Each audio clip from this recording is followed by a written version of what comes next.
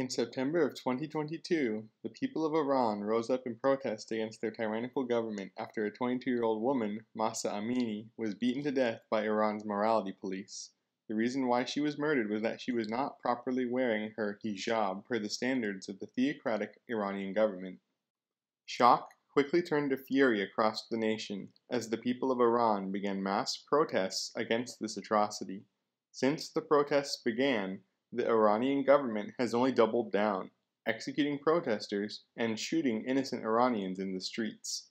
These protests, which are very much still ongoing, have left many wondering how a government can be so brutal. The answer is long and tragic.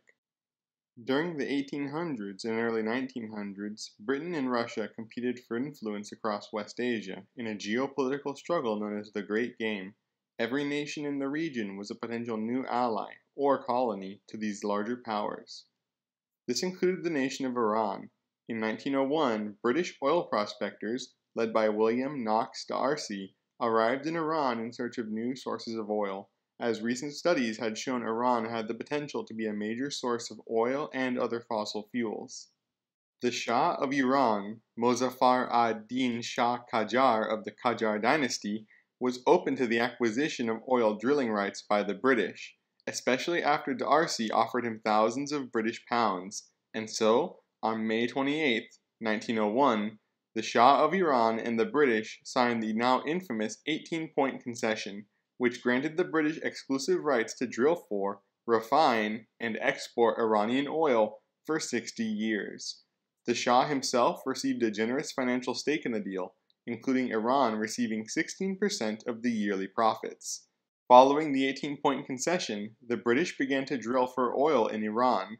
After some initial difficulties, the British discovered oil, and soon they were exporting tons of oil yearly from Iran. The original drilling operation had to be expanded and was renamed the Anglo Persian Oil Company, later named the Anglo Iranian Oil Company, or AIOC for short. While relations between the AIOC and the Iranian government were amicable at first, this working relationship began to deteriorate quickly due to the egregious amount of subterfuge employed by the British to keep as much of the oil revenue for themselves as possible. A main point of contention was that while Iran was supposed to receive 16% of yearly oil profits from the AIOC, the AIOC deliberately hid their true profits from the Iranians, sold to British clients at reduced prices, and established subsidiary companies to divide the company profits into smaller companies not bound by the 18 point concession and thus not required to contribute to Iran's 16% of the yearly profits. As many Iranian people languished in extreme poverty, revenue that was rightfully Iran's as per the treaty was being stolen by the British. After the end of World War II, Iranian society experienced a surge of nationalist and anti foreign sentiment. This created a lot of tension between the British and the Iranians within the country, which was only worsened by a series of troubling revelations, including the AIOC refusing an audit by Iran to make sure they were paying their fair share to the country, increasing awareness of Saudi Arabia's and Venezuela's fair oil agreements, and the revelation of the poor working conditions suffered by Iranian workers under the AIOC. In 1949, Iranian politician Dr. Mohammad Mossadegh, an ardent nationalist and pro democracy activist, formed a political party called the National Front the National Front's main goals were expelling foreign interference from Iran, the secularization of Iranian society, nationalizing Iran's oil reserves, and establishing and expanding democratic and constitutional governance throughout Iran. The National Front believed that nationalizing Iran's oil industry was the only path to a better life for the people of Iran, and many across the country agreed with them. The National Front quickly made a name for itself, and by the early 1950s, they were one of the most popular political parties in Iran. During oil negotiations with the British, on March 5, 1951, Iran's pro British Prime Minister, Haji Ali Razmara, was assassinated by an Islamic fundamentalist. In the days following Razmara's death, Iran's parliament voted to nationalize the Iranian oil industry. Their rationale was that because the original oil concession was approved by the Qajar dynasty, which no longer ruled Iran, it was void. In the chaos and nationalistic fervor that engulfed Iran following Razmara's assassination, the National Front became the leader of a coalition government formed in parliament. Following a vote by the parliament against the pro-Western Shah's wishes, Mohammad Mossadegh was nominated to be the next prime minister of Iran because of his unceasing advocacy for reasserting Iran's sovereignty over their energy reserves. Although the Shah did not want Mossadegh to be prime minister, because Mossadegh and the ideals he represented were supported by a supermajority of Iranians, the Shah was left with little choice. And on April 28, 1951, the Shah appointed Dr. Mohammad Mossadegh as Iran's next prime minister. After Mossadegh was appointed as prime minister, he carried out Parliament's will, with his closest ally, Minister of the Interior Hossein Fatemi, overseeing the process. Mossadegh set out to nationalize Iran's oil industry and end the AIOC's control over the Iranian oil industry. It seemed now that Mossadegh would be able to realize his dream of using Iran's oil revenue to lift his people out of poverty and modernize the nation under the banner of secularism and democracy. However, this did not happen. Instead, the nationalization of the Iranian oil industry sparked what is today known as the Abadan Crisis, which set Britain and Iran on a collision course. The British government was furious with Mossadegh, and Prime Minister Clement Attlee imposed a military blockade of Iran's coastline, as well as heavy sanctions on the nation. Likewise, Iran expelled the AIOC's British employees and began working to export the oil themselves using non British oil technicians, only to find out that most Western countries, except Italy, would not work with them. After British accusations of so called Iranian thievery graced newspapers across the Western world.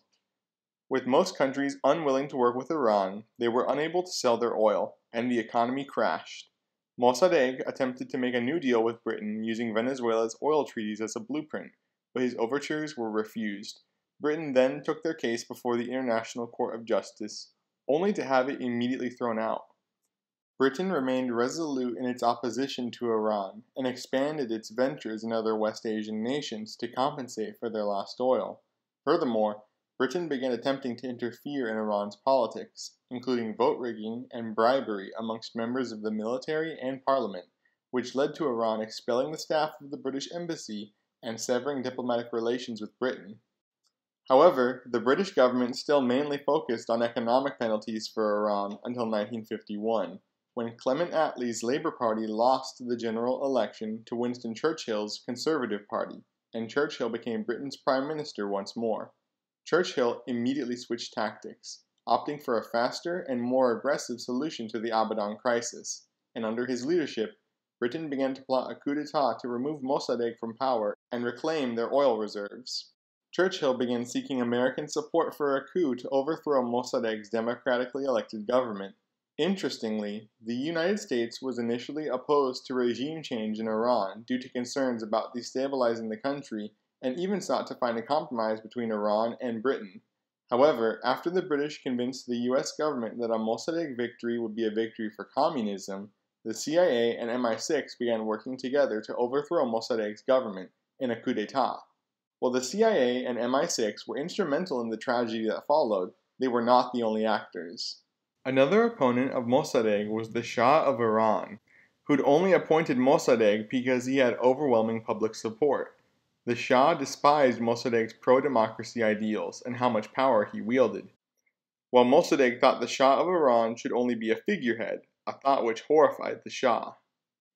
Iran's Islamic fundamentalists, led by Ayatollah Abul Qasim Kashani, also hated Mossadegh.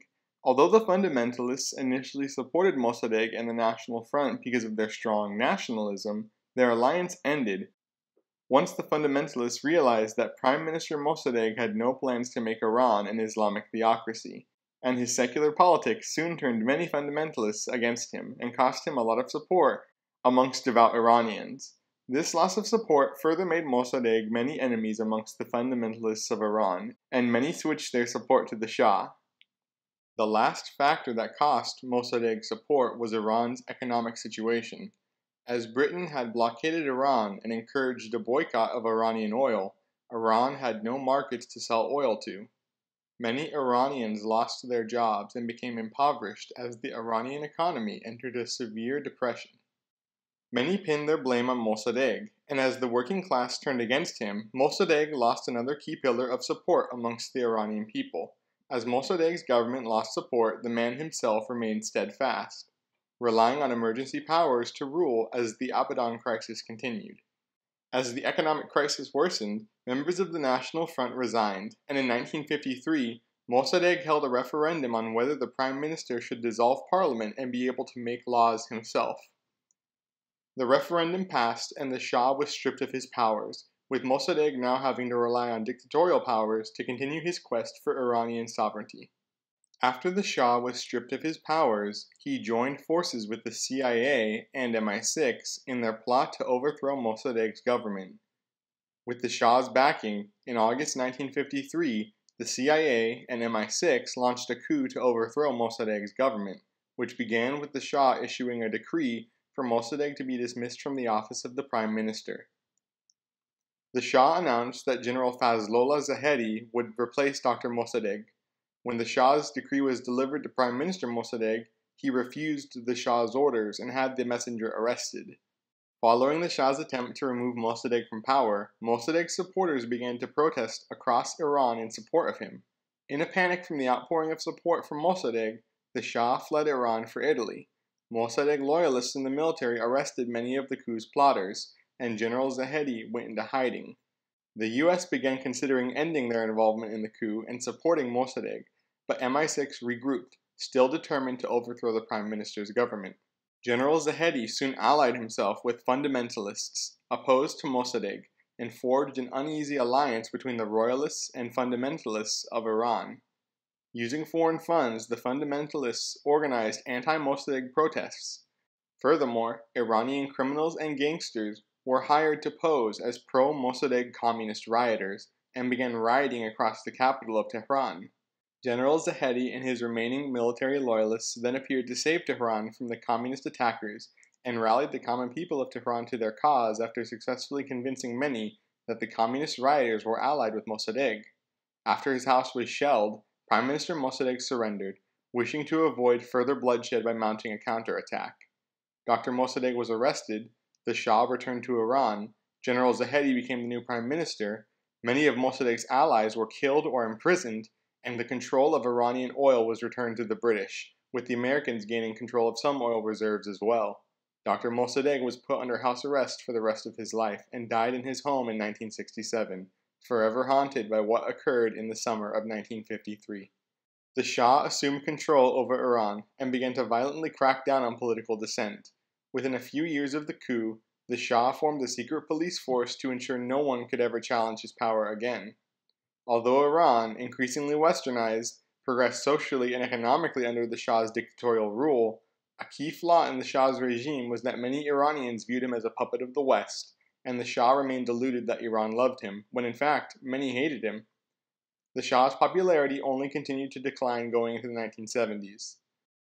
Finally, in 1979, Iran rebelled once more and successfully toppled the Shah's oppressive government, only to have it replaced with the theocratic government of the Islamic Republic, which managed to be even more oppressive than the Shah ever was.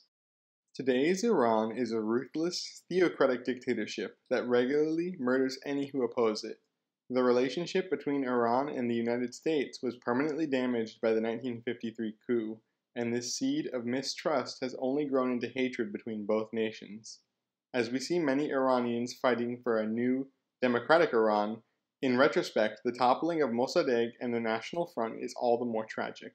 But what if Mossadegh was never overthrown? What if, in 1953, democracy was not ended in Iran? What would Iran look like today? Let's find out. Our point of divergence for this timeline is the 1951 British general election.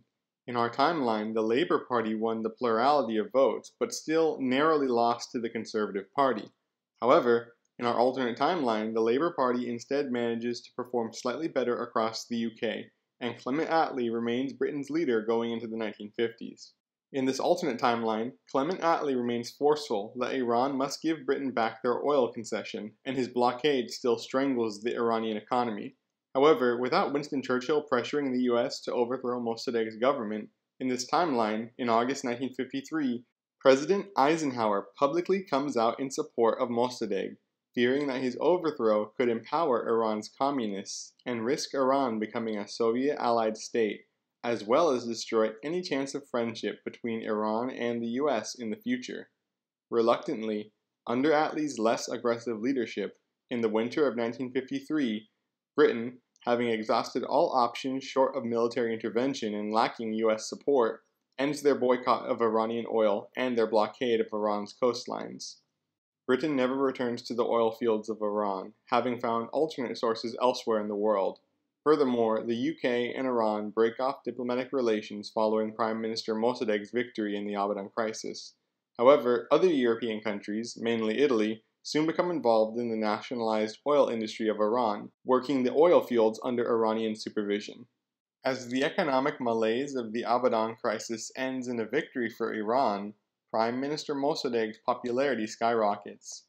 Mossadegh calls for a snap election, and this election results in a landslide victory for Mossadegh's Popular Front Party, with Mossadegh's mandate to rule reaffirmed after the difficult years of the Abadan crisis. The Shah of Iran grows anxious as Mossadegh consolidates his power over Iran, and hardliner royalists, led by General Fazlollah Zahedi, urge the Shah to remove Mossadegh from power, lest he supplant the Shah as the biggest figure in the Iranian government. The Shah, convinced that the people would support him removing Mossadegh from power now that the National Front no longer had the oil crisis to rally the people to their cause, follows through on General Zahedi's advice.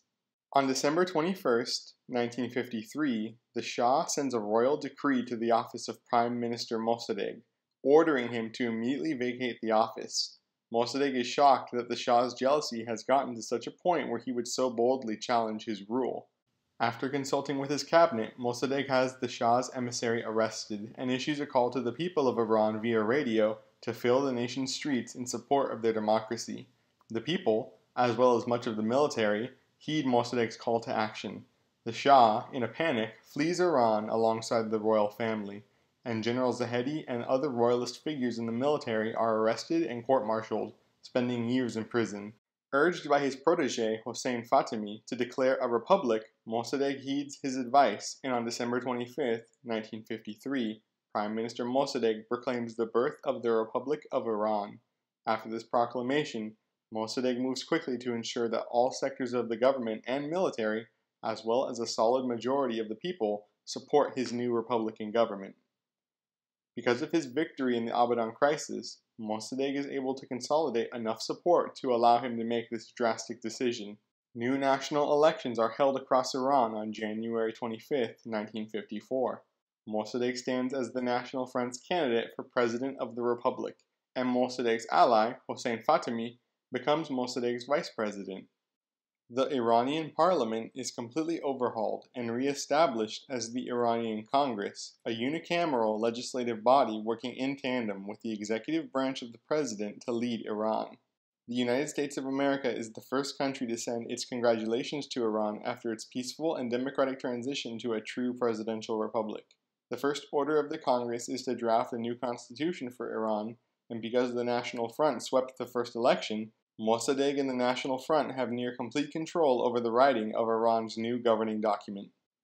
Taking heavy inspiration from Mossadegh's ideology of progressive democracy, the Iranian Constitution of 1954 enshrines into law a guarantee of basic human rights, the right to free education, full equality of the sexes, albeit in a manner where it will be implemented at a slow pace to satisfy the more fundamentalist elements in Iran, and freedom of speech and religion.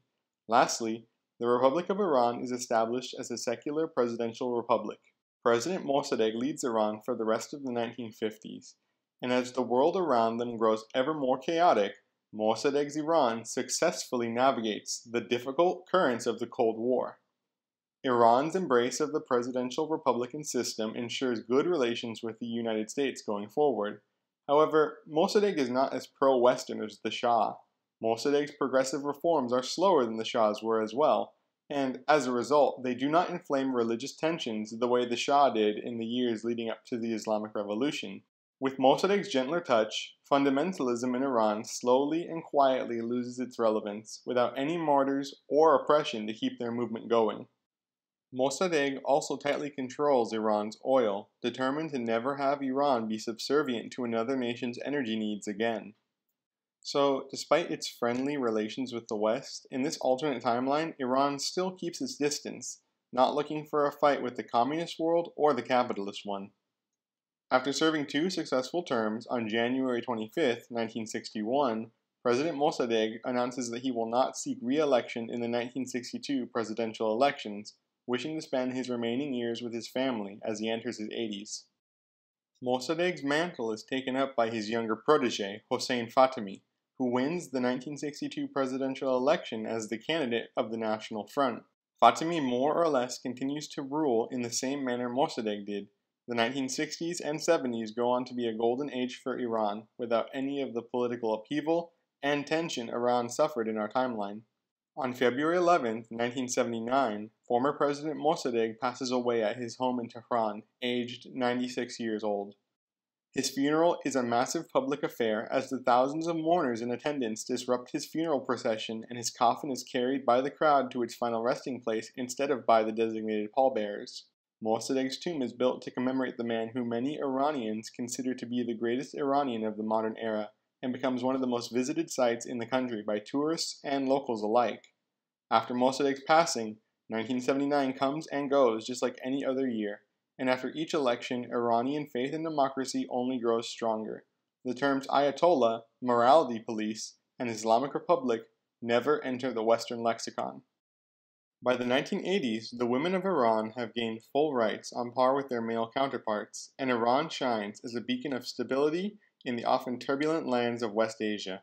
In the summer of 1980, the last Shah of Iran dies in exile in London, and reluctantly the Republic of Iran allows his body to be returned to Iran and buried there in a small and quiet ceremony. In 1985, Iran and Britain finally re-established diplomatic relations after three decades of animosity between the two nations, and the last visible scars of the Abadan crisis disappear from the social and political fabric of Iranian society. Going into the 21st century, Iran emerges as the model to be followed for any of its neighbors who aspire to live under democratic rule. On September 16, 2022, a young woman named Mahsa Amini goes to Tehran to visit her brother. The visit goes as planned, and afterwards, she leaves Tehran without issue. Her name is never known to men and women across the world, nor to the people of Iran. Across the nation, men and women live as equals, and the people prosper under the democracy that Mohammad Mossadegh fought so hard for. When Iran's sovereignty and democracy were threatened, fate intervened to preserve it for the betterment of all.